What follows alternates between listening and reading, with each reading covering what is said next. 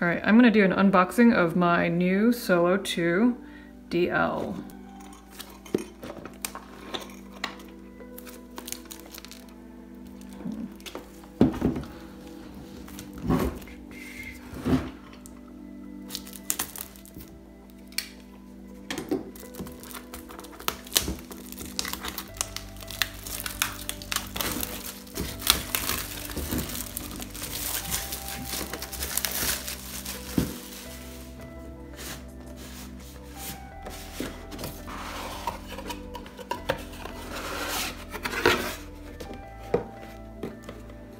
All right, so some stickers.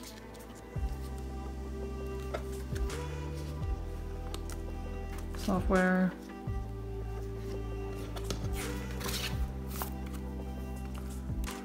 Nice manual.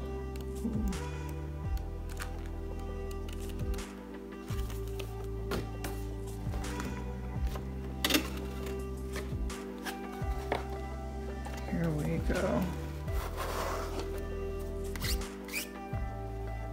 This is what we have all been waiting for for, I don't know, I've heard about this thing for at least three or four years now.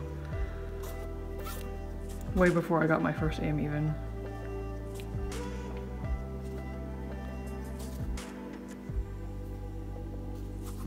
Cool. Let's see what else is in the package.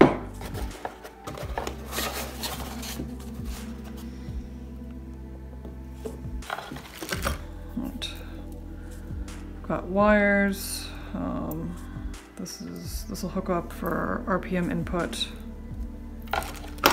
and this is for charging.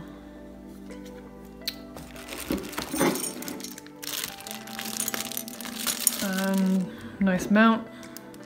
Has the magnets of the same that the uh, AIM came with, so you can screw this onto your dash and it'll hold pretty nicely.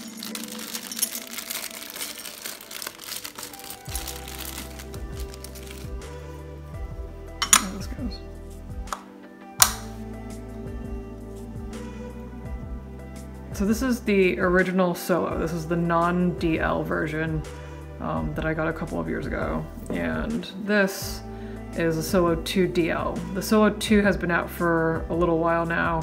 Uh, this is the DL version that has ECU connection, so you get a little bit more information um, from the ECU, uh, water temps, oil temps, things like that, um, through the OBD2 ports.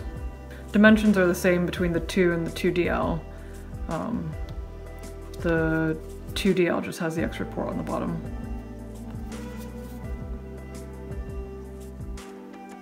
All right, so I'm gonna charge up the 2DL uh, and then I'll do a in-depth video on uh, some of the new features that it offers and why it might be good to get an upgrade.